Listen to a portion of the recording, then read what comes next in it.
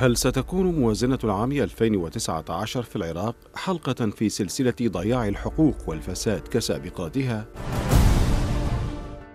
لماذا لا ينهض العراق مع ميزانيات ضخمة تكفي أربع دول عربية مجتمعة؟ وهل سيستمر مسلسل الفساد في العراق؟